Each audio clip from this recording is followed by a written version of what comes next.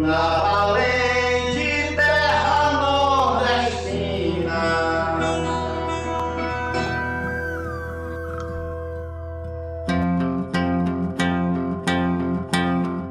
A viralidade do sertanejo era a assinatura dele, como homem, procriador, reprodutor nato das terras do sertão. Impedir-lhe de reproduzir era mais triste e cruel do que matá-lo. Ainda hoje, quando temos a vasectomia, que nada tem a ver com castração, em muitos lugares, a maioria do sertanejo não aprova, ou melhor, não quer nem ouvir falar. Naquele tempo, não sabemos o real motivo, significado do porquê das castrações feitas em pobres roceiros pelos cangaceiros. No conceito social, o cabra estava lascado. A dor moral de ser um castrado talvez doesse muito mais do que ter sido submetido a tal ato, à base de faca peixeira, canivete ou navalha. Esse fato o desonrava mais do que qualquer outra coisa, e só notamos ser esse o motivo de tão perverso ato. Em cada bando ou subgrupo de cangaceiros, havia aqueles que se destacavam em suas especialidades, como sangrar, torturar, ferrar, castrar e outras coisas. Como gato Zé Baiano, Mariano, Atividade e outros. Falaremos neste vídeo da história de um cangaceiro onde não vemos destaque algum em grandes combates no entanto, destacava-se como castrador do bando de Lampião.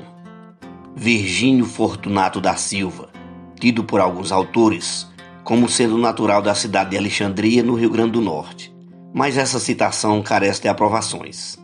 Nasceu no ano de 1903, casa-se com Angélica Ferreira da Silva, irmã dos cangaceiros Esperança, Vassoura e Lampião. Quando da morte dos sogros, Virgínio vai junto aos cunhados e primos de Lampião para a cidade de Juazeiro do Norte, no Ceará, onde estabelecem moradia.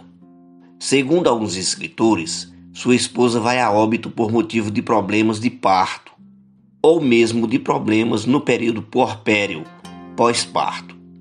Quando a carta precatória é enviada pelas autoridades de Vila Bela, Pernambuco, para as autoridades cearenses, e a família tem que voltar debaixo de ordem, presa mesmo para Pernambuco, e o sargento encarregado da escolta revela aos Ferreiras um plano de o assassinarem, Virgínio e Ezequiel, irmão mais novo de Lampião, desgarram e entram no cangaço.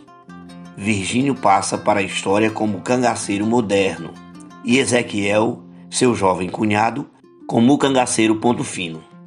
Moderno ganha a confiança total do rei dos cangaceiros e passa a ser a pessoa que vai buscar os valores que Lampião extorquia dos fazendeiros, coronéis e autoridades de pequenas cidades, fazendas, vilas e povoado no sertão nordestino.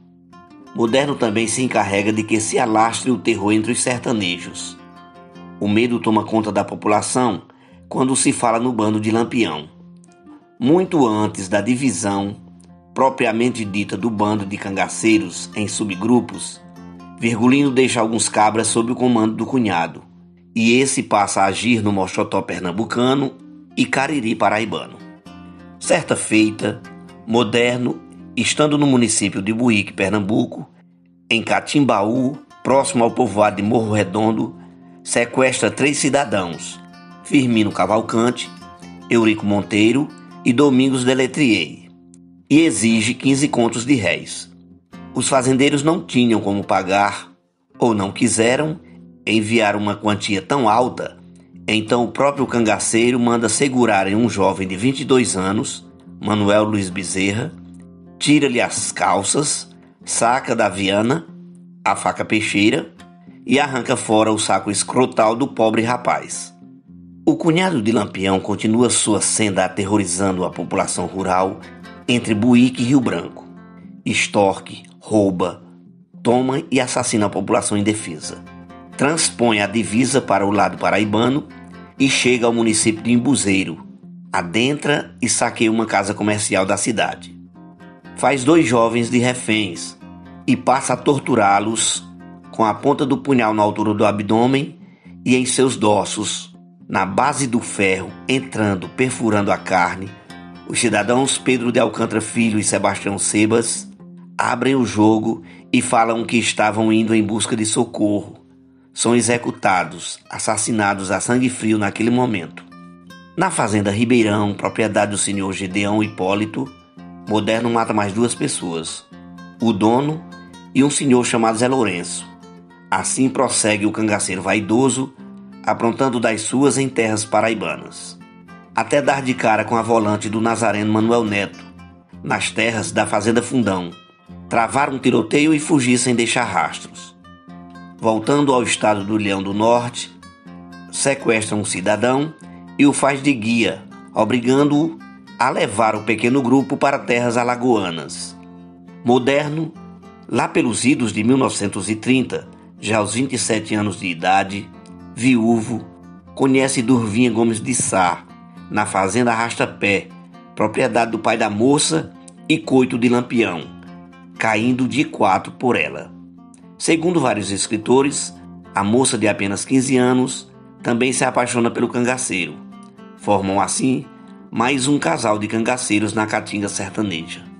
A companheira de moderno cangaceira Durvinha, como ficou conhecida, conta ao pesquisador historiador João de Souza Lima ter lembrança de uma castração que seu amado fizera em um rapaz apenas por ele não lhe ter respondido a uma pergunta, assim como arrancado a língua de uma senhora por ela ter se assombrado com o terrível ato. Cangaceira aproximou-se, segurando o homem pelo colarinho, forçando ele a se ajoelhar. Outros cangaceiros juntaram-se ao chefe e extraíram o saco escrotal da vítima. Diante da situação, uma mulher gritou: Valeu-me, minha Nossa Senhora! Virgínia segurou a mulher, forçando ela a abrir a boca e puxando a língua para fora. O órgão do palato foi cortado, deixando a senhora com a boca pastosa por grande quantidade de sangue. Essas e outras façanhas terríveis foram cometidas pelo cangaceiro moderno. Moderno era como seu cunhado, Capitão Lampião, chefe mor do cangaço, vaidosíssimo. Então manda colocar alguns dentes de ouro. Contam alguns autores que Moderno, em um confronto contra a volante do tenente Pompeu, fora atingido por um projétil em um dos joelhos. Desse ferimento, ou por esse ferimento, jorra grande quantidade de sangue. A hemorragia leva-o a óbito. Particularmente, temos dúvidas dessa morte por apenas esse ferimento, já que sabemos de ex-cangaceiros mencionarem um ferimento na altura do tórax, causado por uma bala de mosquetão, tão grande que dava para ver algum dos órgãos internos do famigerado facínora. Sabemos também que ao penetrar, a bala de fuzil faz certa ferida.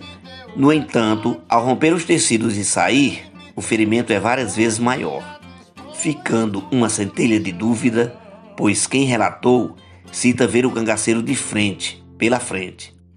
Talvez este seja mais um dos vários mistérios que encontramos na longa saga das trilhas históricas do fenômeno social cangaço. Se o recado eu se o segredo eu revelasse, salvação. perdão.